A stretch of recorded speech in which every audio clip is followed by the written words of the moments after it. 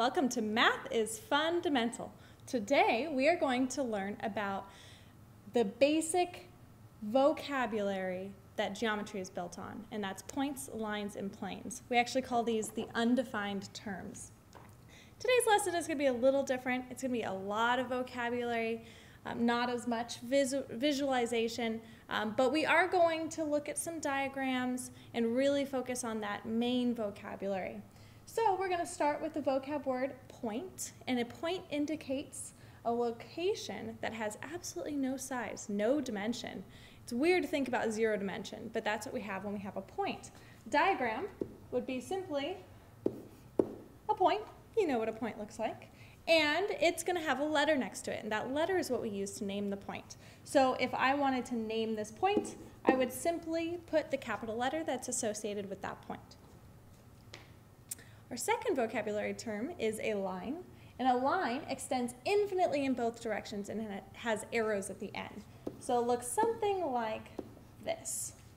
Now, one other note for a line is that it doesn't have any thickness, even though technically when I draw it on the paper, you can see that there's a width.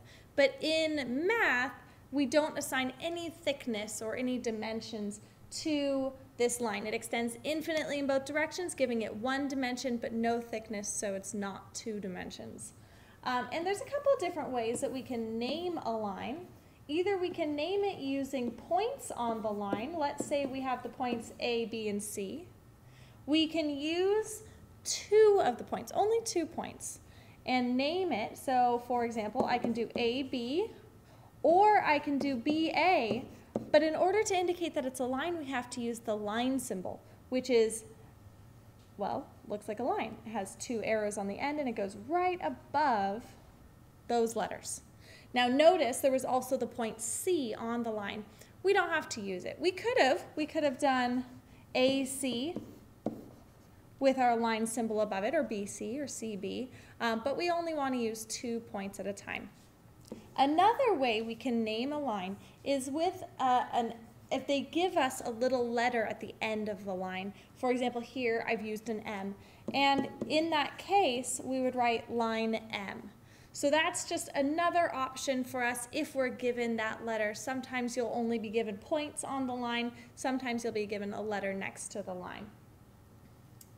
Next vocab term is a plane, and a plane is a flat surface that extends infinitely in all dimensions, or sorry, in all directions, which is going to be a little misleading because when we see what a plane looks like on our paper, it's going to look something like this, which looks like it has edges. But we have to remember it actually goes infinitely in all directions. So some people like to draw little arrows indicating that it keeps going like this. Um, I don't think we're going to be drawing arrows in this course, or at least you're not going to see it in your textbook that we use. But sometimes you'll see arrows, even if they're not there, the plane is assumed to have um, infinite, infinite uh, length. So a plane extends infinitely in all directions. I'm not going to draw the arrows, but I just wanted you to see them in case it helps you visualize what's going on. It still has no thickness, just like the line. It has no thickness. You want to think of it infinitely thin kind of thing. Um, and it contains infinitely many lines. This is going to be two dimensions this time, kind of like a piece of paper. You can think of that as two dimensions.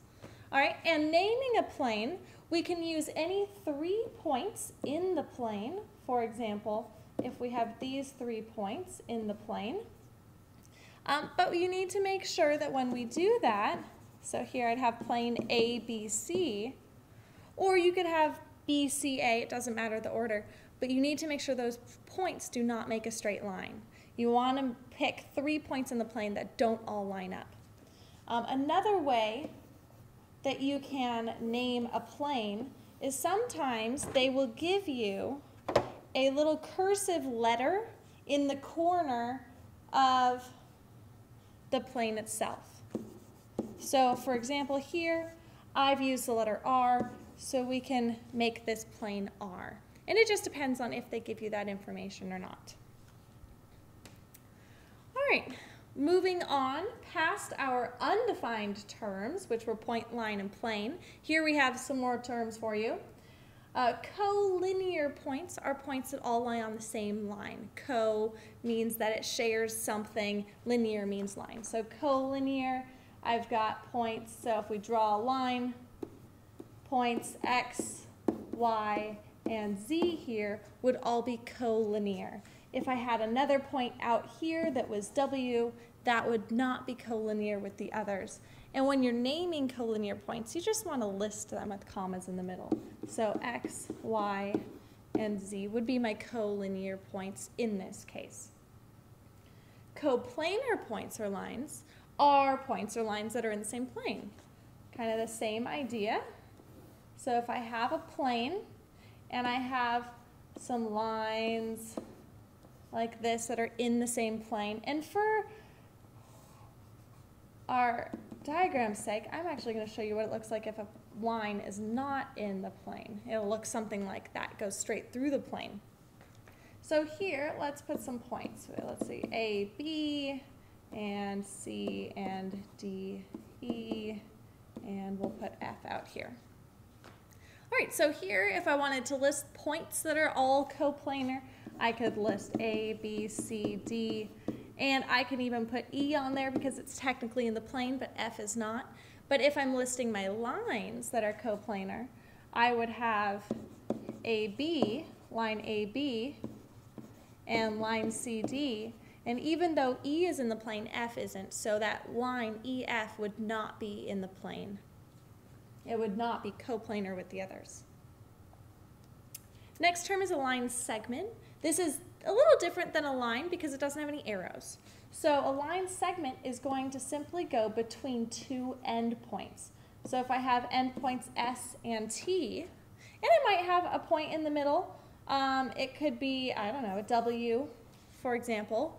We want to look at naming this segment with the two endpoints. So here, I've actually created three different segments. I've created the segment ST, which is the length of that segment between S and T. I've, I've created this segment WT, which is slightly smaller, and then SW, which is even smaller than those. And if you notice the symbol I've put above those, it doesn't have any arrows because a line segment does not have any arrows. No, you know what? I'm going to put commas in between those guys. All right. Next, we're almost done. A ray is part of a line that has one endpoint, like a line segment, but it actually has an arrow. It extends infinitely in one, or one direction. So here I would start with an endpoint, and then my line extends infinitely in one direction. So here I could have A and B. Now, when I name this ray, it's very important because order matters. With a line or line segment, um, for example, if we go back to that last, that last example, oops, I had ST, I had SW, I could also put WS and it would be the same as SW. But here with the ray, we have to start with the endpoint, A, and then do the point that goes through with the arrow because our ray symbol is going to have one arrow, but it always, always points to the right. So we want to make sure that our endpoint starts our ray when we name it, and it goes through the other.